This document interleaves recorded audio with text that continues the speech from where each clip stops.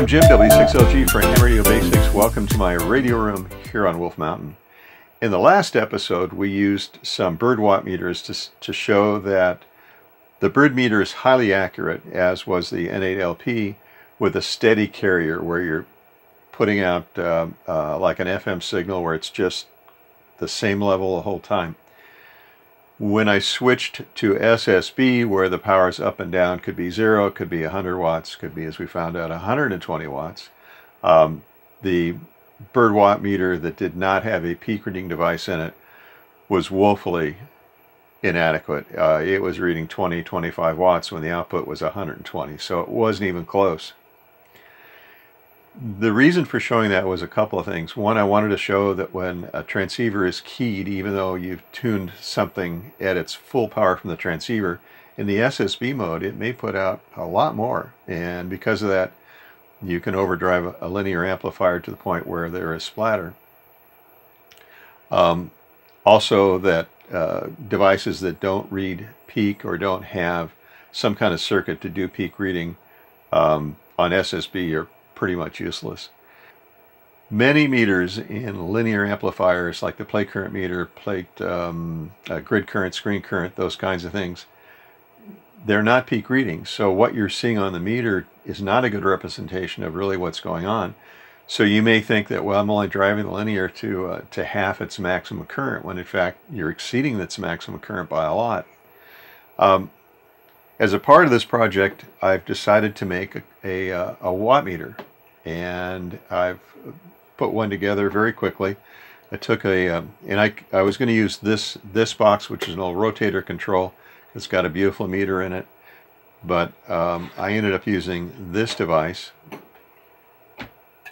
that I built some time ago. It's really simple. Um, and this is going to be my pickup coil. Uh, I took a toroid off of a power supply board uh, like this one and uh, stuck it in there, put one into the center pin of the BNC, the other into ground. Um, what kind of mix is it? I have no idea. Uh, how many turns? Uh, it's about 10 or 12. Uh, as it turns out, it's plenty. It works fine. Um, I haven't calibrated it yet, but it's not uh, it's not that bad. And so for less than 10 bucks, I've built uh, a fairly decent watt meter.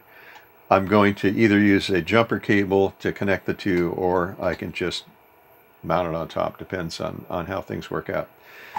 I'm going to take this into another room uh, and drive an amplifier, uh, get an SDR receiver going, and we're going to look at what happens to an amplifier when it's overdriven, where it looks like it's not, but in fact the peak current, uh, because of the peak wattage from the um, transceiver, is higher than a person might expect or what they're reading from the meter.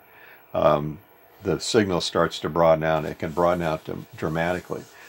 That shortens the life of the tubes um, or tube and uh, causes distortion and on the scope and on the band it's uh, it's pretty evident uh, it's not pretty all right gonna break this down go set it up we'll see what happens uh, back in a couple of minutes all right here we go I've got a lot of noise so I'll try to talk over the noise so let's first I'm going to use a two-tone oscillator in the K3 uh, to generate a signal it's a little easier to uh, to look at the uh, at the bandwidth that way.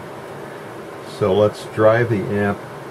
Um, yeah, this is grid current, plate current. That's going to be power out.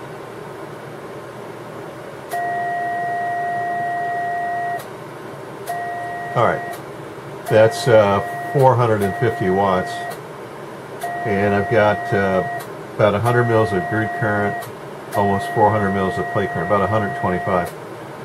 Let's run the drive up, and I'm going to watch the grid current. That's the bottom meter. Now watch the grid current now is 200 mils. The plate current stayed about the same. That's not good for the tube. Now look at the bandwidth on the scope. It's a lot wider than it was because linear is not linear. You can see those lines way out to the side. Now let's increase the loading control and peak the amplifier for its maximum output and see what happens to the scope. So here we go. All right, now look at the scope and you can see it's quite a bit, it's ne not nearly as wide as it was. That's uh, 700 watts. The uh, grid current's 100 mils, plate current uh, about 450. So there is about a about a four to one ratio. Okay, let's stop here and review uh, two frames of video that I captured just to show what the difference is between roughly 100 mils of grid current and 200 mils of grid current and what that does to the width of the signal. So in the first instance, I've tuned up the amp amplifier so that it has about 125 mils of grid current and just shy of 500 mils of plate current. And let's, it's a bit blurry, but let's look at this frame. And you can see that uh, here's the main body of the signal.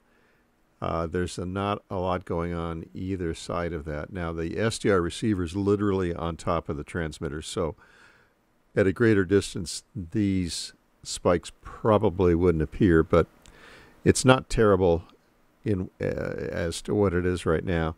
Now the next step is to increase the drive so that there's 200 mils of grid current. And what does that do to the signal? And I've left, so now I've got 200 mils of grid current, 400 mils of plate current. Well, and in case you're wondering how that would happen, um, the, you're working somebody and you increase the drive or you increase the mic gain so that you're putting more power into a linear amplifier. And here's what's here's what happens to the signal there's just all kinds of garbage each side of the main signal. And just kind of switch back and forth. This is 200 mils. That's 100 mil. And I know that I know it's maybe hard to see it. So th the only difference is, in this case, I kept the drive at 100 mils. The amplifier is actually tuned up for more than 500 mils of plate current. So here's the upshot of what I'm uh, trying to convey. Let's say that, and this is what I hear from a lot of guys, let's say that you either are restricted to 400 watts or that's what you want to run, and the amplifier is capable of the 400 watts and, and perhaps more. And a lot of guys will tune the amplifier to 400 watts output and go on the air. And that's a mistake. It's a mistake because of what you see in the second picture.